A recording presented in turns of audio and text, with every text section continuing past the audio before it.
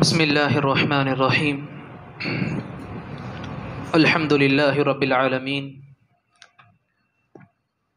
نحمده ونستعينه ونستغفره ونؤمن به ونتوكل عليه ونعوذ بالله من شرور أنفسنا ومن سيئات أعمالنا من يهده الله فلا مضل له ومن يضلله فلا هادي له وأشهد أن لا إله إلا الله وحده لا شريك له وأشهد أن محمدا عبده ورسوله.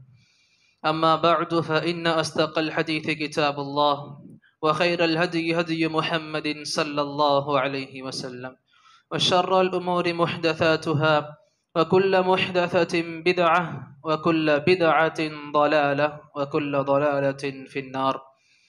فقد قال الله تبارك وتعالى في القرآن المجيد وفي فرقانه الحميد.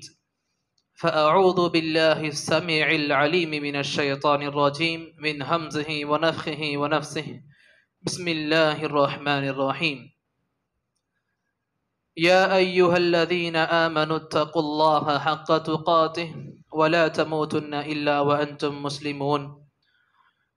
يا أيها الناس اتقوا ربكم الذي خلقكم من نفس واحدة وخلق منها زوجها وبث منهما رجالا كثيرا ونساء واتقوا الله الذي تساءلون به والأرحام إن الله كان عليكم رقيبا. يا أيها الذين آمنوا اتقوا الله وقولوا قولا سديدا. يصلح لكم أعمالكم ويغفر لكم ذنوبكم.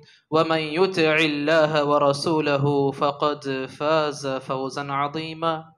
وقال في موضع آخر خذ العفو وأمر بالعرف وأعرض عن الجاهلين.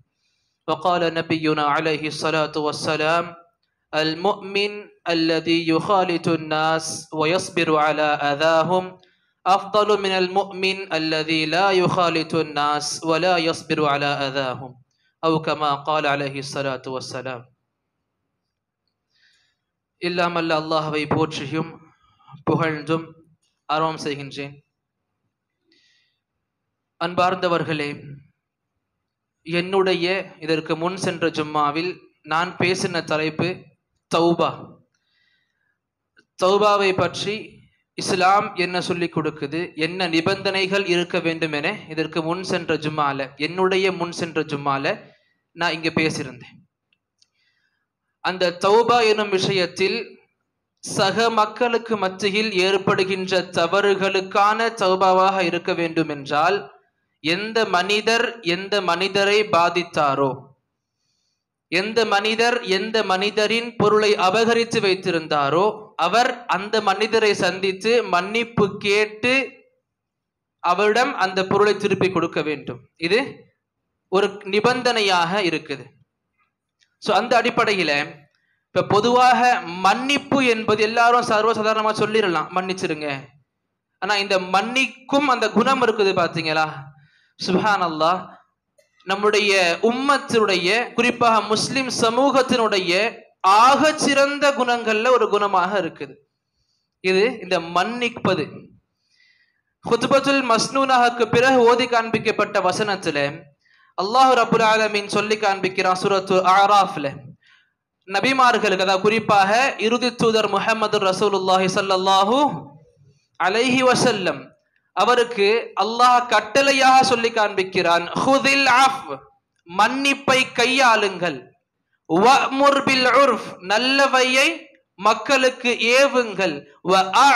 அனில் ஜாஹிலின் மடை மடையர்கள் முட்டாள்கள் இவர்களிடம் நீங்க பேசிக்க பேசுறீங்க அப்படின்னு சொன்னா தர்க்கம் செய்யாதீர்கள். அவர்களை புறக்கணித்து விட்டு உங்க வேலையை பாருங்க அல்லாஹ் ரபுல் ஆலமீன் நபிக்கு சொல்லி காண்பிக்கிறான். அந்த மூன்று முக்கிய கட்டளைகளில் முதலாவதாக அல்லாஹ் சொல்லி காண்பிக்கிறது ஹுதில் ஆஃப் மன்னிப்பை கையாளுங்கள். இப்ப மன்னிப்புன்றது தவறுகளுக்கான ஒரு தீர்வாக இருக்கு. எந்த அளவுக்கு பெரிய விஷயமாக இருக்குது?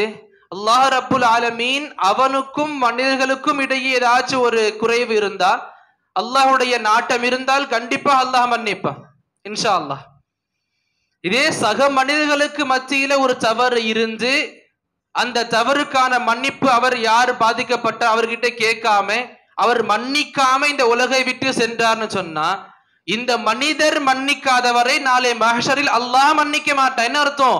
சொருகம் கூட கேள்விக்குறிதாங்க. எங்க? நாம ஒரு மனிதனுக்கு செஞ்ச தவறு ஒரு மனிதனை நான் மன்னிக்காம இருந்துட்டு தப்பு எந்த கிடையாது. தப்பு முழுக்க முழுக்க அவரது தான் இருந்தாலும் நான் அவரை மன்னிக்க மாட்டேன்ற ஒரு கௌரவத்தை கொண்டு இருக்கும் பொழுது இந்த ஒரு எண்ணம் ஒரு முஸ்லிம் அடியானை சொர்க்கத்தை விட்டு நீங்க தள்ளி வைக்கிறதுக்கு சமானம். அப்ப அல்லாஹ் நல்லபடியா அஞ்சு கொள்ளணும். எப்படி அவர்களுக்கு நம்ம மேல உரிமை இருக்குதோ எப்படி நமக்கு மற்ற மனிதர்கள் மேல கோவப்படுறதுக்கு உரிமை இருக்குதோ மன்னிக்காததுக்கு உரிமை இருக்குதோ அல்லாஹ் பல மடங்கு நம் மீது உரிமை கொண்டவனாக இருக்கிறானா இல்லையா? சோ அல்லாஹ் ரபுல் ஆலமீன் நம்ம மேல முழுமையான உரிமை கொண்டவனாக இருக்கிறான் முழுமையான ஆற்றல் கொண்டவனாக இருக்கிறான். அந்த அல்லாஹ் ரபுல் ஆலமீன் கிட்ட நம்முடைய சுவனம் பதிவாக இருக்கிறோம் சொன்னா இங்கே நடந்து கொள்றதுல தான் இருக்கு. அல்லாஹ் ரபுல் ஆலமீன் நம்முடைய நபிக்கு சொன்ன அந்த மூன்று கட்டளைகள்ல முதன்மையான கட்டளை ஹுதில் ஆஃப் மன்னிப்பை கையாளுங்கள். இந்த மன்னிப்பு செய்த தவறு யாரா வேணா இருக்கலாம்? இந்த மஹல்லால யாராச்சும் ஒருத்தர் தவறு செய்திருக்கலாம்? இல்ல நம்முடைய தெருவில் வசிக்கக்கூடிய ஒரு தவறு செய்திருக்கலாம். நம்ம குடும்பத்துக்கும் தவறு செஞ்சிருக்கலாம் நம்முடைய கூட பிறந்தவங்க நமக்கு நம்மளை ஏமாற்றிருக்கலாம். நம்ம அநீதம் செய்யப்பட்ட மக்களாக இருந்திருக்கலாம். ஆனா இருந்தாலுமே அந்த நேரத்துல தவறு எந்த இல்லையா இருந்தாலும் சரி தவறு எந்த கிடையாது. தவறு முற்றிலுமாக எனக்கு முன்னால் இருக்கக்கூடியவர் தான். ஏன்? தவறு எதுவுமே கிடையாது. அப்படி இருந்தாலும் சரி தானா போய் மன்னிப்பு கேட்டு அல்லாஹ் கிட்ட சிறந்த பேர் வாங்கிக்கிறது உண்மையான முஸ்லிமான அடையாளமாக இருக்குதுன்னு சொல்லி நான் சொல்லல. எம்பெருமானார் ஸல்லல்லாஹு அல்ல அலைஹி செல்லம் அவங்க சொல்லி காண்பிக்கிறாங்க. யார் முதலில் சலாம் சொல்லுகிறாரோ யார் செய்த தவறை எண்ணி ரெண்டு சண்டையிட்டு நபர்கள் முதல்ல யார் சலாம் சொல்றாங்களோ அவுலாஹுமா ஃபில்லா அல்லாஹ் கிட்ட சிறந்தவராக இருப்பாங்க. சுஹான் அல்லாஹ் அல்லாஹ் அப்படிப்பட்ட சிறப்பு தன்மை நான் அனைவர்- அனைவருக்கும் தர வேண்டும். இன்ஷா அல்லாஹ். அதே போல இந்த மன்னிக்கும் குணம் இருக்குது பாத்தீங்களா எந்த அளவுக்கு சிறந்த குணமாக இருக்குதுன்னா அல்லாஹ் ரபுல் ஆலமீன் இதற்கு முன் சென்ற குர்ஆன் இறங்குவதற்கு முன்னால் அல்லாஹ் இறக்கி வைத்த இறைவேதங்களில் முஹம்மதுர் ரசூலுல்லாஹி ஸல்லல்லாஹு அலேஹி வசல்லம் இவர்களை பற்றி சொல்லும் பொழுது இந்த குணத்தை எண்ணி சொல்லி காண்பிக்கிறான். எப்படி? உமர் ரதி ஆட்சி காலம் இருக்குது. அங்க எர்மூக்குன்னு சொல்லக்கூடிய ஒரு போர் நடக்குது. எர்மூக்குன்னு சொல் மிக பிரம பிரம்- பிரபலமான ஒரு போர். ஏன்? அரபு மக்கள் அரபு தேசத்தை விட்டு வெளியே சென்று செய்யக்கூடிய முதன்மையான போர்கள் இது ஒரு போர் முதல் போர். எர்மூக் எனும் போர். ஹிஜ்ரி பதினைந்தாம் ஆண்டு நடைபெறுது. இந்த எர்மூக்கு போர்ல புகாரில வரக்கூடிய ஹதீஸ் நமக்கு இது. அப்துல்லா பின் அமர் பின் அல் ஆஸ் இவங்க அறிவிக்கிறாங்க இந்த எர்மூக்கு போர்ல நானும் ஒருவனாக இருந்தேன். எர்மூக்கு போர்ல எனக்கு தௌராத்தினுடைய ஒரு பிரதி கிடைச்சது. எனக்கு தௌராத்தினுடைய ஒரு பிரதி ஒரு புக்கு கிடைச்சது எனக்கு. அந்த தௌராத்து எடுத்ததும் என்னுடைய மனசு என்னச்சு அல்லாஹ் ரபுல் ஆலமீன் குரான்ல சொல்லி காண்பிக்கிறானே இதற்கு முன் சென்ற வேதங்கள்ல நபியை பத்தின குறியீடுகள் இருக்கு இதற்கு முன் சென்ற வேதங்கள்ல முகமது பத்தின சாட்சிகள் இருக்குன்னு சொல்லி காண்பிக்கிறானே. இந்த தௌராத்துல என்ன இருக்கு எடுத்து படிக்க விரும்பினேன்? அந்த எடுத்து படிச்சு பார்த்துட்டு அந்த வார்த்தைகள் அப்படியே சொல்லி காண்பிக்கிறாங்க நமக்கு. இறைவாசகத்தை சொல்லி காண்பிக்க நமக்கு. யா ஐயுவன் நபி. இந்த ஒரு நபியை அனுப்ப போகிறோம். எப்படிப்பட்ட நபியா இருப்பாங்க? இன்னா அருசல்நாக்க ஷாஹிதன் முபஷிரா. மக்களுக்கு சாட்சி சொல்லக்கூடிய ஒரு நபராகவும் மக்களுக்கு நன்மாராயம் தெரிவிக்கக்கூடிய ஒரு நபராகவும் உம்மியின். எழுது படிக்க தெரியாத படிப்பறிவு இல்லாத பாமர மக்களின் பாதுகாவலனாகவும் பாமர மக்களின் பாதுகாவலனாகவும் நாம ஒரு நபியை இறக்க இருக்கிறோம் உங்களை இறக்க இருக்கிறோம் சொல்லி சௌராத்த சொல்லி காண்பிக்கிறான். அடுத்தடுத்து வரும் பொழுது சம்மை சுக்கல் முச்சவக்கில் அல்லாஹ்வின் மீது பரிபூரண நம்பிக்கை கொண்டவராக நீங்க இருப்பீங்க. அந்த ஜீவரசூலி என்னுடைய அடியானாக இருப்பீங்க என்னுடைய தூதராக இருப்பீங்க. அதுக்கப்புறம் என்னவா அறுக்க மாட்டீங்க சொல்லி காண்பிக்கிறான். வலைச பிஃபத்தின் கடினமான வார்த்தைகளை பேசக்கூடியதா இருக்க மாட்டாங்க. வலா கலீதின். கடினமான நெஞ்சம் கொண்டவராக இருக்க மாட்டார்கள். வலா சஹாபிம் பில் அஸ்வாக். கடை வீதிகளில் கூச்சல் போடுகின்றவராக இருக்க மாட்டார்கள். வலா யத்ஃபஉ ஸய்யிஅத பிஸ்ஸய்யிஅ தவறுகளுக்கான பதிலை தவறுகளை கொண்டு கொடுக்க மாட்டார்கள். வலாக்கி யாஃபு வ தவறுக்கான பதிலை தவறை வைத்து கொடுக்க மாட்டார்கள். மன்னிச்சு வாழ்வார்கள். எப்படி? மன்னிச்சு வருவார்கள் மக்களை. அப்ப இந்த மன்னிக்க கூடிய இந்த சிறப்பினை சொல்லுவதற்காக அல்லாஹ் சொல்லி காண்பிக்கிற அடிக்கோடிட்டு இப்படி இருக்க மாட்டாங்க இப்படி இருக்க மாட்டாங்க தவறுக்கு தவறுக்கான பதில் கொடுக்க மாட்டாங்க தவற வச்சு எப்படி இருப்பாங்க? எது நடந்தாலும் சரி இவருக்கு தவறு இழைக்கப்பட்டிருந்தாலும் சரி அதை அழித்து விடுவார்கள் மன்னித்து மறந்து விடுவார்கள். இப்படி அல்லாஹ் ரபுல் ஆலமீன் மன்னிக்க கூடியவராக இருப்பார்கள் என நம்முடைய ரசூல் ஸல்லல்லாஹு அலைஹி வசல்லம் இவர்களை அல்லாஹ் தௌராத்திலேயே சொல்லி காண்பிக்கிறான்னு சொன்னா இந்த மன்னிக்க கூடிய குணம் எவ்வளவு சிறந்த குணமாக இருக்கும்? அதே போல அல்லாஹ் குர்ஆன்ல சொல்லி காண்பிக்கிறான். எப்படி? வசாரிஉ இலா மக்ஃபிரத்தின் மின் ரப்பிக்கும். உங்களுடைய இறைவனின் பாவ மன்னிப்பின் பக்கம் நீங்கள் விரைந்து வாருங்கள். யாரை பார்த்து? மக்களை பார்த்து சஹாபாக்களை பார்த்து அல்லாஹ் சொல்லி காண்பிக்கிறான். இலா உம்முடைய இறைவனின் பாவ மன்னிப்பின் பக்கம் விரைந்து வாருங்கள். வ அவனுடைய சுவனத்தின் பக்கம் விரைந்து வாருங்கள். எப்படிப்பட்ட சுவனமா இருக்கும் தெரியுமா? அந்த சுவனத்தினுடைய பரப்பளவு எப்படி இருக்கும்? வானங்கள் பூமி எவ்வளவு வி- விசாலமாக இருக்கோ விரிவாக இருக்குதோ அந்த அதை விட அதிகமாக. இந்த அளவுக்கு பரப்பளவு கொண்டதாக சுவனம் இருக்கும். அல்லாஹ் சொல்லி காண்பிக்கிறான் "உஇத்தத் லில் முத்தகீன்களுக்காக வேண்டி தயார் செய்யப்பட்டிருக்கின்ற இந்த சுவனத்தின் பக்கம் விரைந்து வாருங்கள். அதுக்கப்புறம் அந்த முத்தகீன்கள் யாருக்காக வேண்டி அல்லாஹ் இப்படிப்பட்ட சூரதத்தை தயாரித்து வச்சிருக்கிறானோ அந்த முத்தகீன்களுடைய பண்புகளை சொல்லி காண்பிக்க அல்லாஹ் ரபுல் ஆலமீன். அல்லதீன யுன்ஃபிகூன ஃபிஸ் ஸர்ராஇ வத்தர்ரா. ஏழ்மை நிலையிலும் செல்வ நிலையிலும் எப்படி?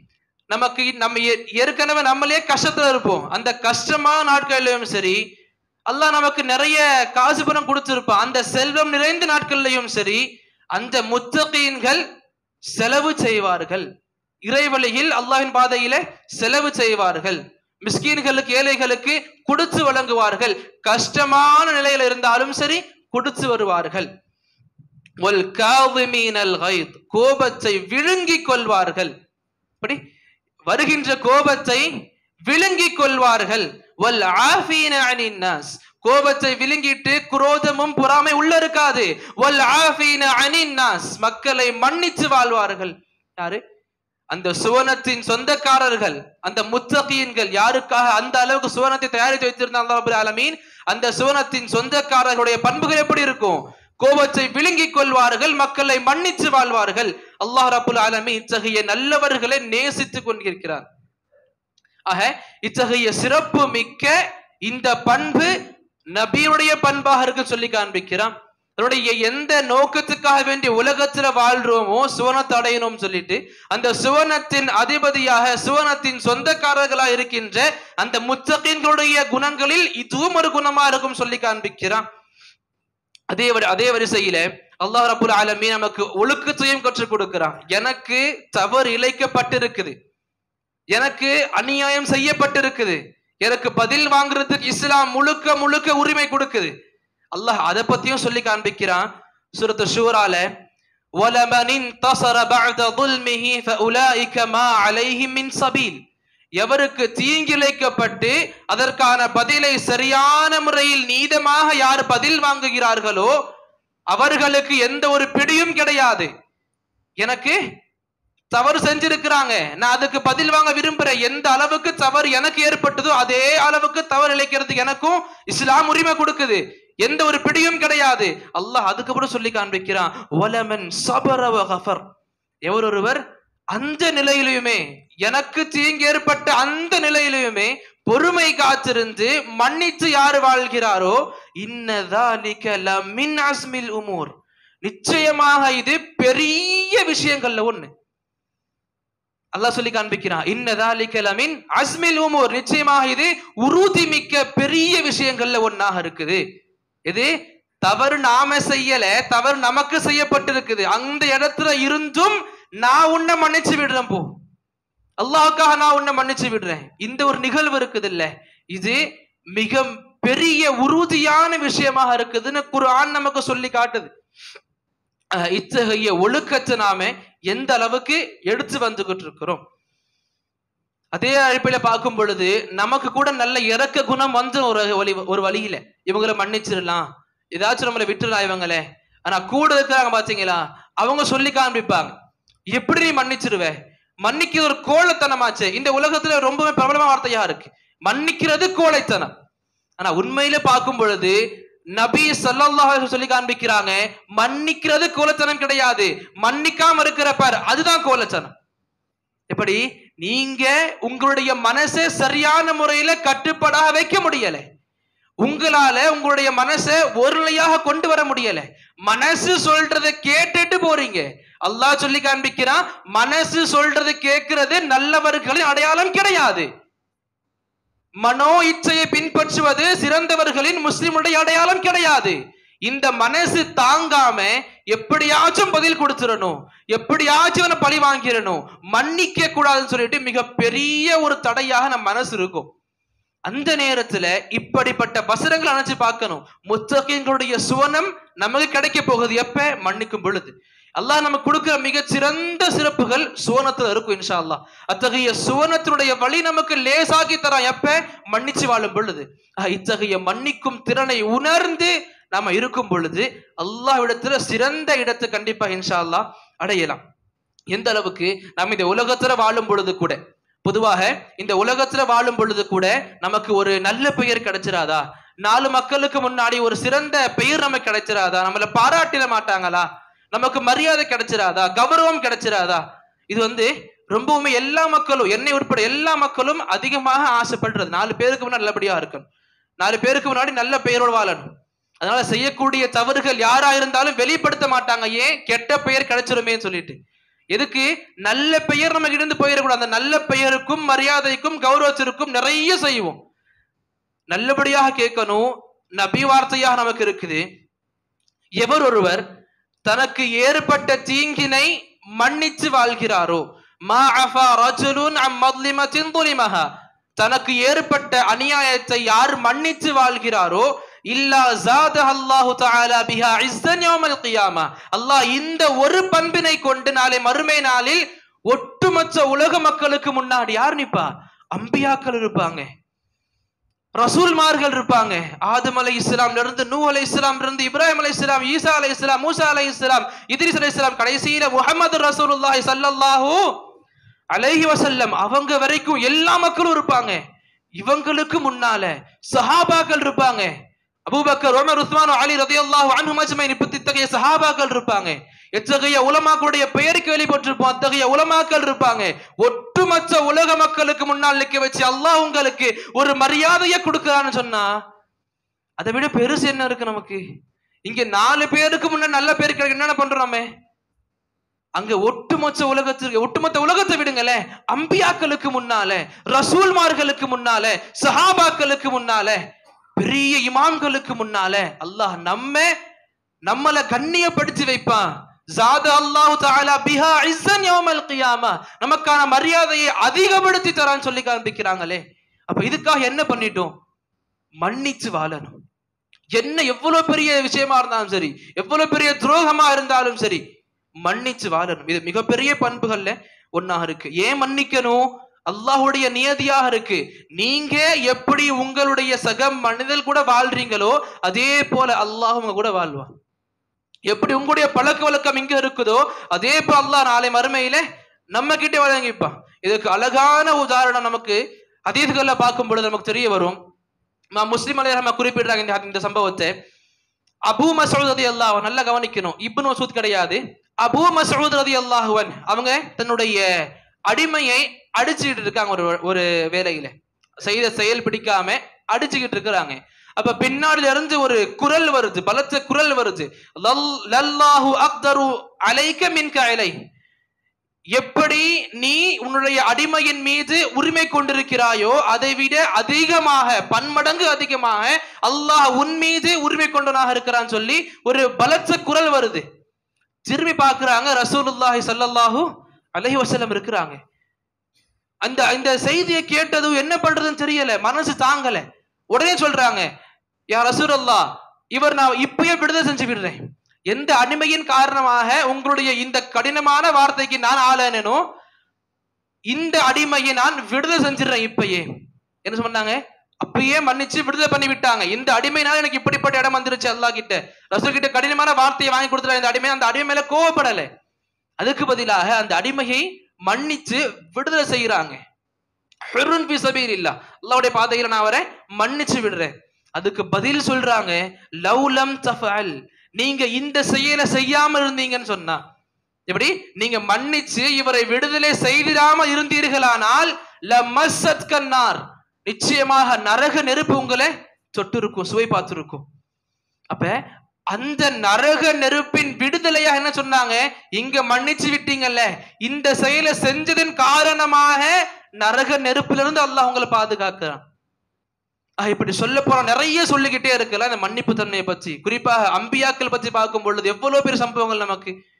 யூசுப் அலிசாமுடைய வாழ்க்கை முழுக்க முழுக்க முழுக்க முழுக்க சோதனைகளால் இணைந்த வாழ்க்கை. சின்ன வயசுல இருந்து பெரியவரான வரைக்கும் நிறைய சோதனைகள். தாய் தந்தை பிரிக்கப்பட்டாங்க கொலை செஞ்சிடலாமா சகோதரர்கள் பேசுறாங்க.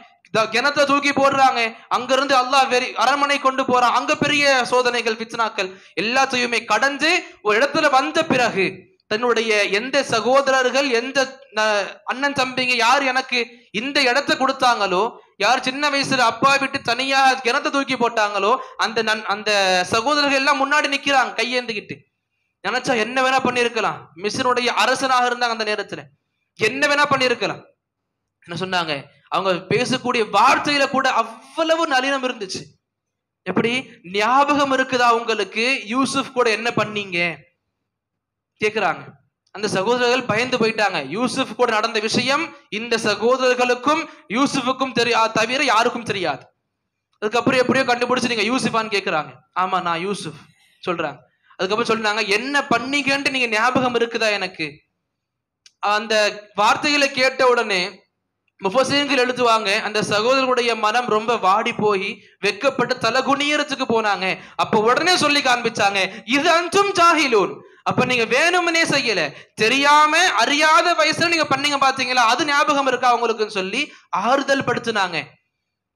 அதுக்கப்புறம் சகோதரர்கள் முன்வந்து சொல்றாங்க லக்கத் ஆசரக் அல்லாஹ் அலைனா. எங்களை காட்டிலும் உங்களுக்கு அல்லாஹ் சிறந்த இடத்தை கொடுத்திருக்கிறா நாங்க தவறிழைத்த மக்களாக இருக்கிறோம். என்ன வேணா செய்யுங்க. என்ன வார்த்தை வந்துச்சு? லா தஃரீபா அலைக்குமுல் யௌம். உங்கள் மீது இன்னைக்கு எந்த ஒரு பிடியும் கிடையாது எந்த ஒரு திட்டும் கிடையாது. இந்த வார்த்தை எந்த அளவுக்கு நபிகளாருக்கு பிடிச்சு போயிருச்சுன்னு சொன்னா மக்கால கிட்டத்தட்ட பதிமூணு ஆண்டு காலம் சோதனைகளை ஏ மேற்கொண்டு நிறைய கஷ்ட துன்பங்களுக்கு ஆளாகி எந்த மக்கள் ரசூலை கூட கொள்ள நினைத்து வீடு தாண்டினார்களோ செவரு தாண்டினார்களோ அந்த மக்காவுடைய நகரத்திலிருந்து அப்புறப்படுத்தி மதீனாவுக்கு செல்லக்கூடிய வாய்ப்பு ஏற்படுத்தினார்களோ ஒரு நாள் வருது. ஃபத்தே மக்கான்னு சொல்லி மக்கா வெற்றி அடைந்து ஒரு நாள் வருது. மக்கா வெற்றி அடைந்து மக்காவின் அரசனாக உள்நுழைகிறாங்க நபிகளா ஸல்லல்லாஹு அலைஹி வஸல்லம். அப்ப எந்த நபர்கள் எல்லாம் முஸ்லிம்களை சஹாபாக்களை ரசூலை கொல்ல நினைத்து துன்புறுத்தினார்களோ துன்புறுத்தும் எண்ணம் கொண்டிருந்தார்கள் எல்லாரும் கை கட்டி நிற்கிறாங்க என்ன நடக்குமோ தெரியலை. அப்ப ஒரு வார்த்தை கேட்கிறாங்க என்ன பற்றி நான் இன்னைக்கு என்ன செய்வேன்னு நீங்க நினைக்கிறீங்க இன்னைக்கு? இவ்வளவு பண்ணீங்களே எனக்கு மக்கால. என்னுடைய முஸ்லிம் என்னுடைய தோழர்களுக்கு இவ்வளவு பண்ணீங்களே நீங்க. அதுக்கு பதிலாக நான் உங்களுக்கு என்ன செய்வேன் நீங்க நினைக்கிறீங்க? நபியினுடைய குணம் முஸ்லிம்கள் மட்டும் கிடையாது. காஃபிர்களுக்கும் நல்லா தெரிஞ்சிருந்துச்சு. என்ன சொன்னாங்க தெரியுமா? ஹைரன் அர்ஜு உங்ககிட்ட இருந்து ஹைரை மட்டுமே எதிர்பார்க்கிறோம் சொன்னாங்க. சுஹான் அல்லாஹ் அதற்கு பதிலாக சொன்னாங்க லா தஸ்ரீப அலைக்குமுல் யோம். எந்த வார்த்தையை தன் சகோதரர்களுக்கு யூசுப் அலைச்சலாம் சொன்னார்களோ அதே வார்த்தையை எதிரிகளுக்கும் விரோதிகளுக்கும் சொல்லி காண்பிக்கிறாங்க இங்க. முழு ஆதிக்கம் வந்த பிறகு சொல்லி காண்பிக்கிறாங்க லா தஸ்ரீப அலைக்குமுல் யோம். உங்களுக்கும் இன்னைக்கு எந்த ஒரு பிடியும் கிடையாது. இது ஹபுவான்சுமுத்துலகா சென்று விடுங்கள். விடுதலை விடுதலை பெற்றோரா சென்று விடுங்கள் சொல்லி மன்னிச்சு வாழ்றாங்க. இப்படி நிறைய உதாரணங்கள் சொல்லிக்கிட்டே போகலாம். ஆக மிக சிறந்த சிறப்புகள்ல மிக சிறந்த குணங்கள்ல குர்ஆன் சொல்லக்கூடிய இஸ்லாமியர்களின் மிக சிறந்த குணங்கள்ல நமக்கு இந்த மன்னிக்கும் குணம் இருக்குது. அப்ப இதுவரையிலும் இன்று வரையிலும் இந்த ஜும்மாவுக்கு உள்ள வர வரைக்கும் எந்த நபர்களுடன் பேசாமல் இருந்தோமோ எந்த நபர்களோடு பேச்சுவார்த்தை வைப்பதை மனசு வெறுத்துச்சோ எந்த நபர்களை கண்டால் சலாம் சொல்ல கூட முகம் தராத அளவுக்கு நம் நிலைமை இருந்துச்சோ? நான் சலாம் சொல்லுவேன் பேச மாட்டேன். எந்த அளவுக்கு உறவுகள் நான் வைத்திருந்தேன் முதல்ல? நல்ல நண்பனாக இருந்தோம். நல்ல நிறைய இடத்துக்கு ஒன்னா போகணும் சுத்தணும். ஒரே ஒரு விஷயம் செஞ்சுட்டான். அதுக்கப்புறம் பேச மாட்டேன். சரி இஸ்லாம் சொல்லுது. நீ சலாம் சொல்லாம் கூட இல்லாம உன்னுடைய நிலைமை இப்படி இருக்கும். நான் சலாம்லாம் சொல்றேனே ஆனா பேச மாட்டேன். அல்லாஹுக்காக பார்த்துக்கோங்க. அல்லாஹும் இதே வார்த்தையை நாளை மறுமையில சொன்னா என்ன ஆகும்? உன்னை சொர்க்கத்துக்கு அனுப்புறேன். ஆனா செஞ்ச பாவங்களை மன்னிக்க மாட்டேன். உன்னை சொர்க்கத்துக்கு அனுப்புறேன். நரகத்துல கொஞ்ச நாள் இருந்துட்டு வந்துரு. இந்த வார்த்தைக்கு சொந்தக்காரர்களா ஆகிட்டோம் சொன்னா எந்த நிலைமை இருக்கும் நமக்கு அன்னைக்கு? அல்லாஹ் பாதுகாக்கணும். முற்றிலுமாக அல்லாஹ் பாதுகாக்கணும் நண்பர்களே ஆக எந்த நபர்களோடு இன்று வரை பேச்சுகளை துண்டித்து வைத்திருந்தோமோ அல்லாஹுக்காக நம்முடைய சுவனத்துக்காக சும்மா விட்டு வெளியே போய் வீடு கூட போக தேவை கிடையாது. அவங்க நம்பர் போன்ல இருக்கும். எடுத்து அஸ்லாம் அலைக்கும் ரஹமத்துல்லாஹி வரகாத்து அல்லாவுக்காக மன்னிச்சிருங்க. தவறு எந்த இருக்கவும் தேவையில்லை. இந்த நீங்க சொல்லக்கூடிய முதல் சலாம் நீங்க கேட்கக்கூடிய முதல் மன்னிப்பு நாளை உங்களுக்கு ரசூல்மார்களுக்கு முன்னால மரியாதை தரக்கூடிய வார்த்தைகளாக அமையும் இன்ஷா அல்லாஹ் இத்தகைய சிறந்த குணத்தை அல்லாவுக்காக தன்னுடைய மனோ இச்சையை பின்பற்றுதலுக்கு அடிப்படையில யாருக்காகவும் இது பண்ணிடாதீங்க. அது நேசம் கண்டிப்பா அல்லாவுக்காக வைக்கணும். வெறுப்பு கண்டிப்பா அல்லாவுக்காக இருக்கணும். ஆனா சகோதரத்துவம் துண்டிக்க கூடாது அல் முஸ்லிம் அகுல் முஸ்லிம். முஸ்லிமாக ஒருத்தர் வந்துட்டாருன்னு சொன்னா அவர் சகோதரத்துவமாக ஒரு சகோதரராக சகோதரத்துவ பார்வையில பார்க்கணும். நான் அல்லாக்காக நேசிக்கிறேன் அல்லாக்காக வெறுக்கிறேன் கூட பேச மாட்டேன். அப்படி சொல்லி கொடுக்கல இஸ்லாம். ஒரு முஸ்லிம்னு வந்துட்டு அந்த முஸ்லிமை நீங்க எப்படி கண்ணிக்கணுமோ எவ்வளவு எந்த அளவுக்கு நீங்க மரியாதை நடக்கணுமோ அந்த நடந்து போகணும். அப்ப இந்த சகோதரத்துவம் கண்டிப்பாக மென்மேலும் மலர்றதுக்கு இந்த முதல் செலாம் கண்டிப்பாக இருக்கணும். எந்த அளவுக்கு நாம இதுவரையிலும் பேச்சை துண்டித்து உறவுகளை துண்டித்து வாழ்ந்தோமோ அந்த அளவுக்கு பேச்சுகளை தொடர்ந்து உறவுகளை மேம்படுத்தி கொண்டு வாழவும் இன்ஷா அல்லா அல்லாஹ் ரபுல் அத்தகைய சிறந்த உள்ளங்களையும் அனைவருக்கும் சொல்லும் எனக்கும் கேட்கும் உங்களுக்கும் அதிக அதிகமாக தந்தருள் புரிவானாக. ஆமீன் சொல்லலாமே. இங்க ஆமீன் சொல்றது தப்பு கிடையாது. ஆமீன்.